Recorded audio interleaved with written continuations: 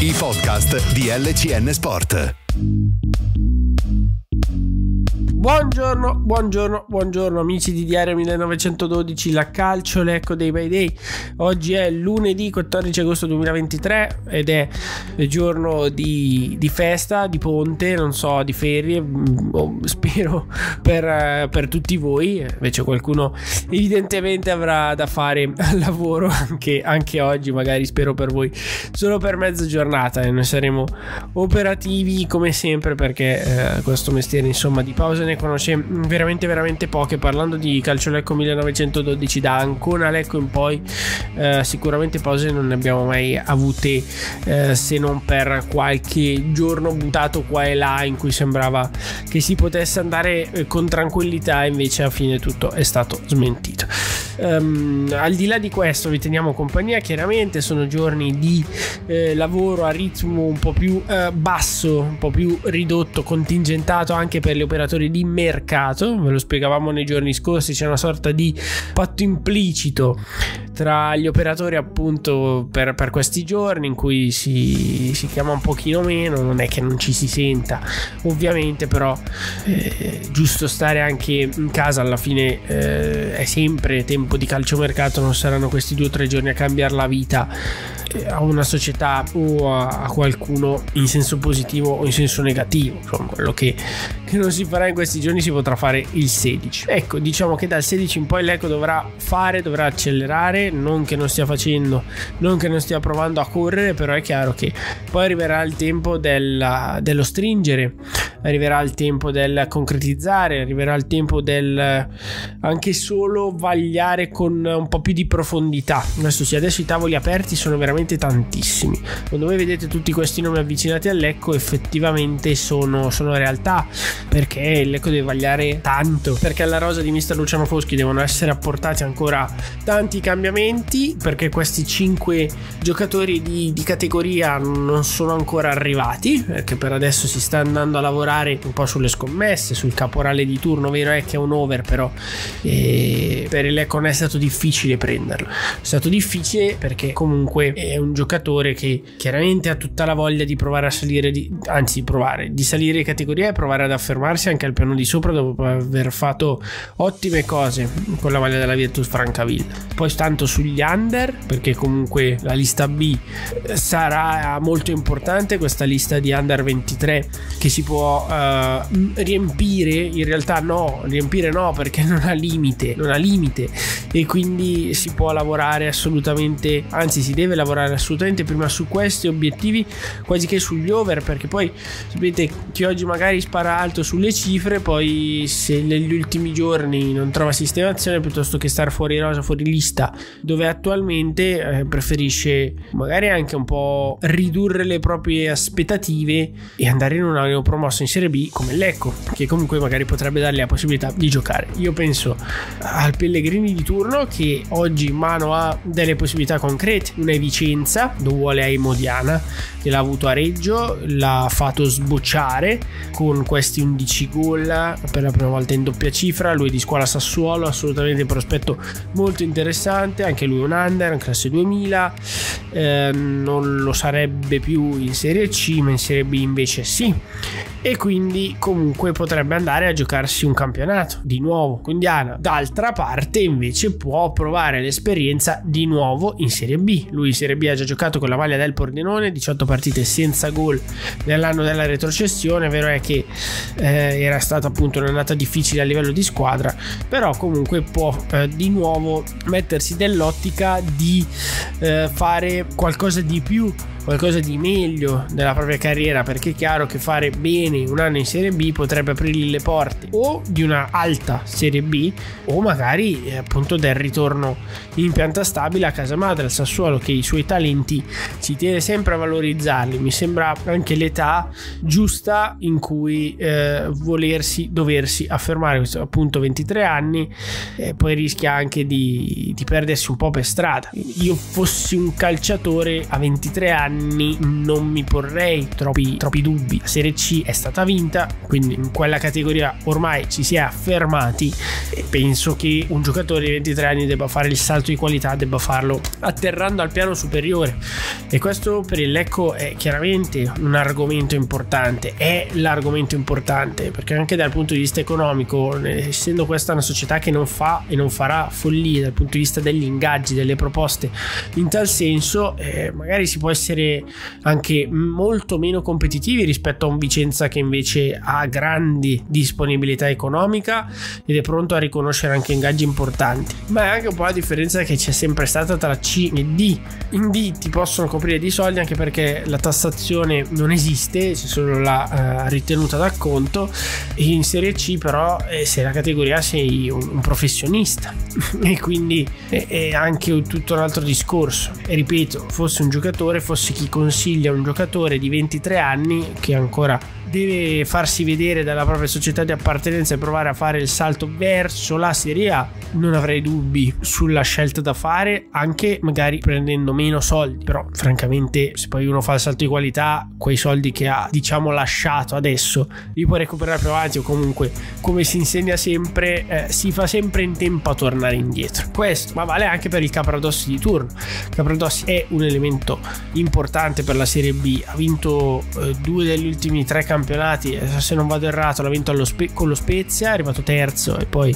ha vinto i playoff con il Frosinone, vittoria Frosinone sconfitta in casa, poi per la miglior classifica comunque la squadra italiana ha fatto il salto in Serie A e ha vinto col Cagliari da comprimario, queste 17 partite di cui parlavamo anche ieri e eh, appunto poi la vittoria sul campo del Bari al minuto 90 millesimo con il colpo di testa di Pavoletti, insomma sotto il diluvio tutto molto struggente da una parte e, e romantico dall'altra. Chiaramente noi lo vediamo da parte terza e, e sicuramente c'è tutta la bellezza la crudeltà del, crudeltà del calcio in quell'ultima palla, in quell'ultima azione. Ecco che appunto Capradossi è un elemento comunque che per la categoria ha un palmarès importante che però appunto eh, l'anno scorso ha giocato da, da comprimario, non è stata una prima scelta per nessuno degli allenatori e quindi neanche per Ranieri mm, che si sono avvicendati sulla panchina del Cagliari, non ha giocato l'altra sera quando invece è subentrato Goldaniga che comunque rimane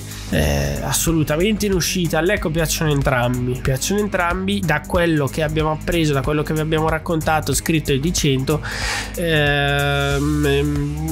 è capito Capradossi, quello più probabile al momento, però veramente vuol dire tutto o non vuol dire niente, vuol dire tutto o non vuol dire niente perché c'è talmente ancora tanto tempo che eh, i blu celesti non faranno follie, vale anche per Pellegrini, adesso noi parliamo di due giocatori. Quando è il 14 di agosto appena iniziato e magari sono trattative che non si chiuderanno positivamente, magari sono trattative che avranno tante fasi, sono trattative che magari si chiuderanno il 31 di agosto. Può succedere anche questo, se ricordate quando Lecco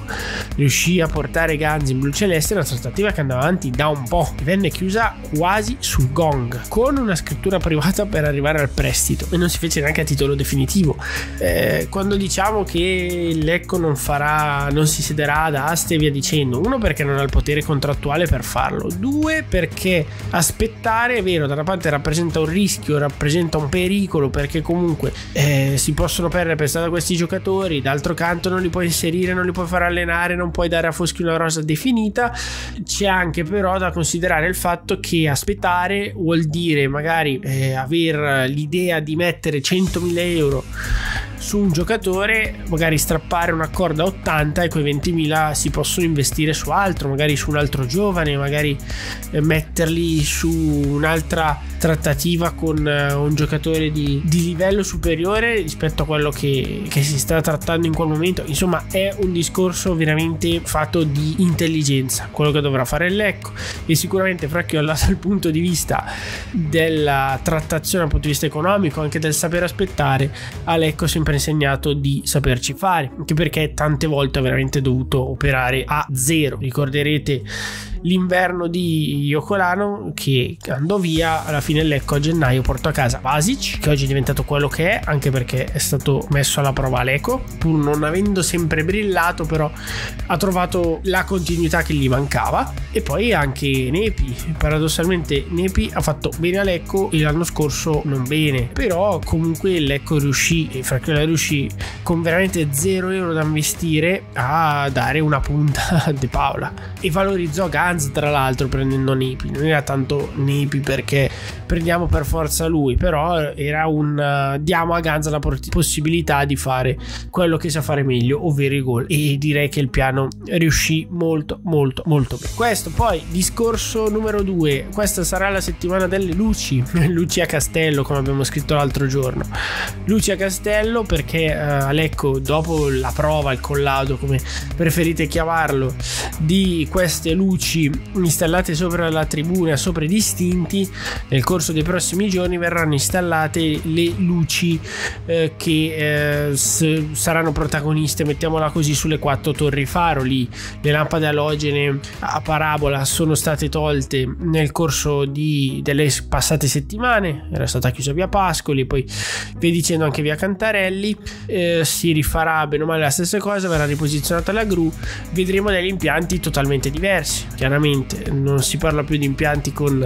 le tecnologie di 60 anni fa si parla di impianti con eh, pannelli a led quindi pesano meno una capacità eh, di illuminazione sicuramente superiore bisogna rispettare dei parametri ovvero 1200 lux in prossimità o meglio dove puntano le telecamere fisse anche per la questione del VAR e 800 nelle aree scoperte dalle telecamere fisse. Quegli 800 per il 2024-2025 dovranno essere già 1000 ecco eh, in Casalecco da questo punto di vista si è guardato veramente al futuro sperando di salvarsi quindi di andare eh, già verso quanto richiesto nel manuale licenze nazionali serie B 2024-2025 quindi rispettando i 1000 minimo in tutte le aree del campo con le punte di 1200 nelle aree di cui sopra. Ecco che quindi in questi giorni dal 16 in avanti ci aspettiamo di eh, vedere questa grande gru posizionata tra via Pascoli e via limitrofe e l'installazione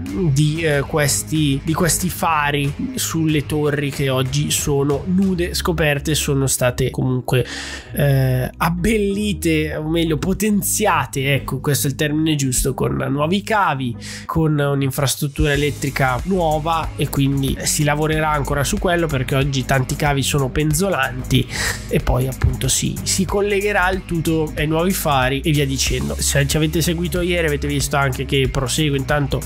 eh, l'opera a livello dei, dei, muri con l'installazione delle due porte in curva nord e in curva sud eh, nei, nei fori che erano stati fatti. All'interno sono stati fatti i basamenti per i tornelli doppi automatici eh, che eh, vedranno il passaggio di tanti tifosi dalla curva nord e dalla curva sud. Per quanto riguarda i distinti come vi dicevamo già settimane fa non si faranno questi tipi di opere in tribuna già a posto da tempo. I distinti invece non c'è proprio lo spazio. Quindi nei vari dialoghi portati avanti con questura, prefettura e via dicendo è stata ottenuta l'autorizzazione a utilizzare i palmari, quindi i controlli saranno fatti da personale addetto e saranno fatti in modo manuale, non c'era altra soluzione, però si può andare in deroga anche utilizzando mm, questa metodologia perché comunque ecco su questo discorso può far valere il legittimo impedimento così come l'ha fatto valere, lo vorrà far valere anche il 29 al Consiglio di Stato eh, proprio anche proprio dal punto di vista eh, strutturale non c'era lo spazio per posizionare i tornelli eh, se non eh, magari eh, passando da delle opere che non si fare, sarebbe stati in tempo di realizzare nei tempi previsti. Tutto questo poi sarà eh, collegato anche al posizionamento delle sedute, si passerà prima dalla curva sud, in curva nord si farà nel corso del campionato dei seggiolini e comunque si sono prese anche le misure eh, nel corso delle, dei passati giorni umur e poi non ci sarà da fare ancora molto e ecco appunto che, che per quest'anno deve fare il minimo. Poi se avrà la bravura la fortuna di salvarsi al termine di questo campionato di Serie B l'anno prossimo potrà tornare a mettere mano allo stadio e andrà andare a fare opere anche più pesanti. Tanti sognano la rimozione dell'inferriata distinti curva nord. Vi posso assicurare che è stata valutata ma non c'erano i tempi effettivi per, per portare a termine queste opere si è fatto altro, si è fatto veramente il minimo che già non è minimo, indispensabile che già anzi il minimo che non è poco, indispensabile per uh, arrivare a ottenere la deroga. Tutto questo poi dovrà passare sotto gli occhi di Carlo Longhi, presidente della Commissione Infrastrutture eh, che poi dà il proprio parere alla uh, maxi commissione, mettiamola così, della FIGC e poi dovrà dare l'autorizzazione, dar l'omologa sui posti e via via dicendo. Questo ovviamente si lega anche al discorso campagna abbonamenti eh, perché in tanti chiedete, so che si sta discutendo in Casalecco sulle cifre degli abbonamenti, è un discorso che è, è chiaramente in fase ancora embrionale perché oggi non c'è eh, proprio eh, consapevolezza di quanti abbonamenti si potranno vendere l'anno prossimo perché il riconteggio deve essere poi vidimato, ufficializzato, certificato appunto mm, dall'ingegner Longhi. Finché non si avrà quella carta in mano di campagna abbonamenti. Non se ne potranno aprire anche perché poi l'Eco deve capire quando scenderà in campo e quanti eh, abbonamenti o meglio quante partite saranno contenute negli abbonamenti che potrà andare a mettere in vendita potenzialmente 19 perché sì assolutamente nei tempi ce la si potrebbe anche fare ma potenzialmente anche 18-17 quindi è tutto in fase di sviluppo e oggi purtroppo non si possono fare fughe in avanti sul discorso abbonamenti però ecco queste informazioni ci tenevamo a darvele perché appunto da quanto abbiamo appreso si sta comunque già iniziando a ragionare anche in quest'ottica. Poi tutto dovrà passare inderogabilmente dal 29 quando si andrà al Consiglio di Stato e si farà. Insomma il punto della situazione si tirerà una riga in fondo a quest'estate fatta di ricorsi contro ricorsi sentenze cambi di scenario ribaltoni carte bollate tanta tanta tanta tanta noia se ci permettete di dirlo. Buona giornata a tutti buon inizio di settimana a tutti e forza le così